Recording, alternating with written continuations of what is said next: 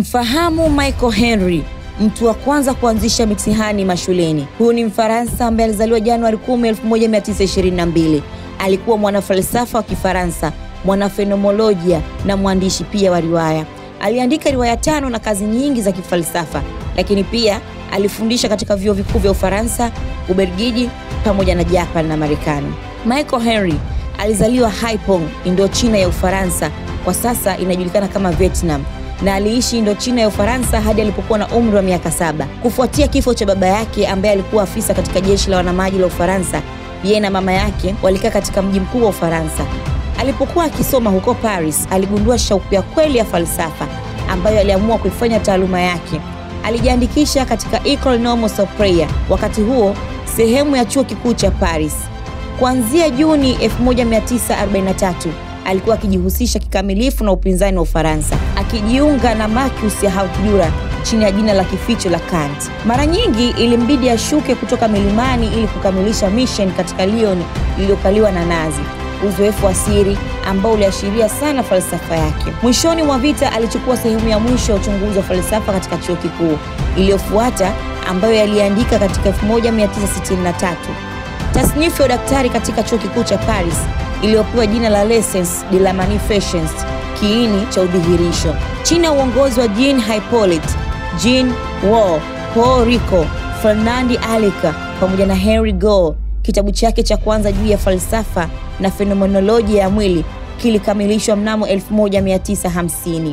Kazi yake ya kwanza ilichapishwa, ilikuwa juu ya kiini cha udhihirisho ambayo alitumia miaka mingi sana ya utafiti muhimu ili kushinda upungufu mkuu wa falsafa zote za wasomi: ujinga wa maisha kama uzoefu.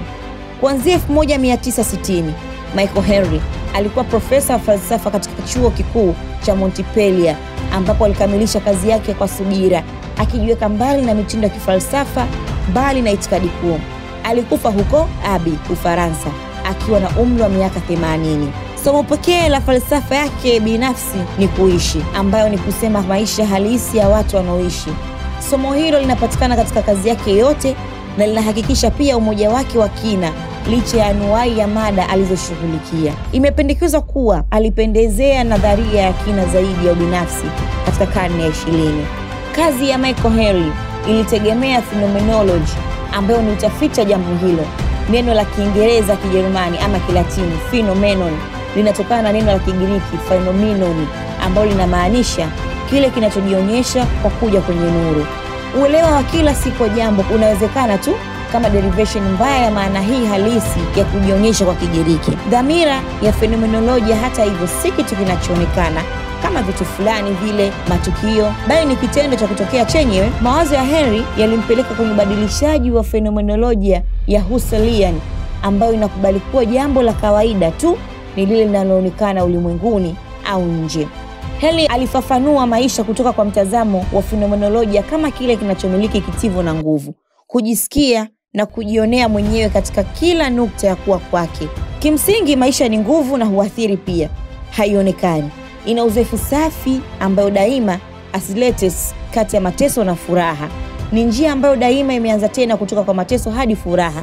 Mawazo kwake ni mtindo wa maisha tu ya kawaida, kwa sababu si mawazo ambayo humpa mtu ufikiaji wa maisha, lakini maisha ambayo huruhusu mawazo kujifikia yenyewe. Kulingana na Henry, maisha hayawezi kuonekana kutoka kwa nje, kwani hayaonekani kamwe katika nje ya ulimwengu.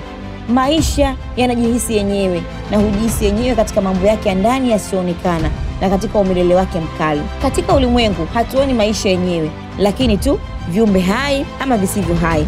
Hatuwezi kuona uhai ndani yao. Kwa njia hiyo, haiwezekani kuona nafsi ya mtu mwingine kwa macho au kutambua kwa mwisho wa scalpel. Falsafa ya Henry inaendelea kuzuia kwamba tunapitia maisha katika kila hali kupita kiasi, tunapunguza kuyastahimili kabisa yale ambayo hatujataka, na kwamba unyogovu huu wa maisha ndio msingi wa sababu ya mateso.